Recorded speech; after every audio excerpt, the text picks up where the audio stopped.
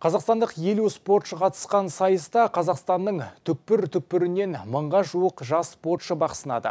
Жаттықтырушылар жыл санап каратенің кикушанкай түріне қызығып, спортты жанына серік қылған балалардың саны артып келе жатырғанын айтады. Жеңіспен оралған жас өрендер енді республикалық және әлемдік деңгейдегі чемпионатқа қатысу үшін дайындалады. Қазақстандық ұйым карате біздің балаларымыз екінші общий команданы алды осы жүлдеміз елу адамды апардық елу бала қатысты бес жастан 17 жасқа дейін соның ішінде 30 баламыз орын алды 11 алтын 9 күміс және 9 10 қола алдық